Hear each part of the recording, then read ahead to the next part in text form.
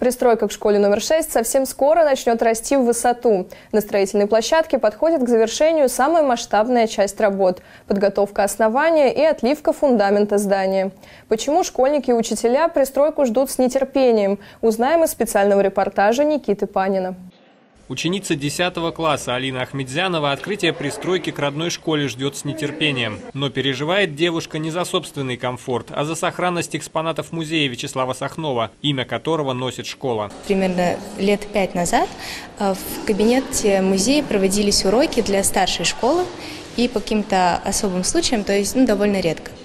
А сейчас же э, в кабинет музея проводятся как уроки для старшей школы, так и для начальной что, в принципе, э, я считаю, не есть хорошо, потому что это экспонаты, которые бы хотелось сохранить. Очевидно, что проблема с недостатком пространства касается не только музея, но и всех остальных классных комнат. Сегодня в школе проходят обучение 1542 учащихся, 300 из которых занимаются во вторую смену. Только для школы, для нашей, это такое особенно важное событие, потому что школа наша за последние года сильно расширилась, ну, в плане количества учащихся.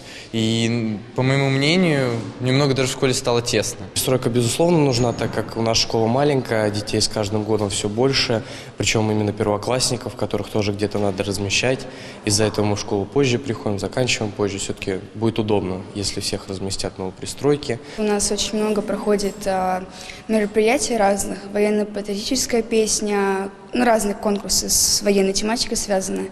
То, что будет отдельный актовый зал, это очень большой плюс для нас. Пристройка, рассчитанная на 400 мест, позволит не только полностью ликвидировать в учебном заведении вторую смену, но и вывести учебный процесс на качественно новый уровень. В новом здании, площадь которого в полтора раза больше существующей школы, разместится полноценный пищеблок с большой столовой, спортивный зал, размеры которого троекратно превышают габариты существующего, просторные светлые классы. Дополнительные помещения нам позволят организовать здесь систему дополнительного образования в рамках образовательного учреждения и позволит решить нам э, вопрос IT-технологий технологиями, 3D-моделированиями, ну и какие-то современные другие направления, которые сейчас актуальны и востребованы. Несмотря на то, что сейчас строительная площадка с трудом дает представление о том здании, которое здесь появится уже через несколько месяцев, работа здесь проведена без преувеличения колоссальная. Демонтированы старая столовая и спортивный зал, перенесены проходящие под территорией школы инженерные сети, вырыт котлован, в процессе создания которого строителям пришлось вывести более 700 нагруженных КАМАЗов земли. Сейчас завершаются работы по отливке фундамента.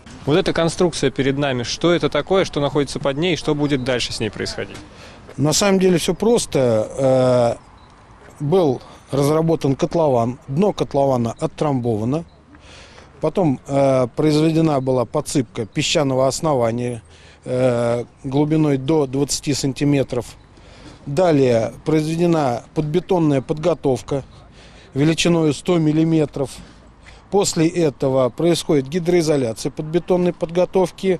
После этого укладывается, как мы видим с вами, защита э, гидроизоляции, так называемый плантер. Далее верхняя и нижняя сетка э, арматуры, связанная между собой. И э, между нее установлен металлический каркас.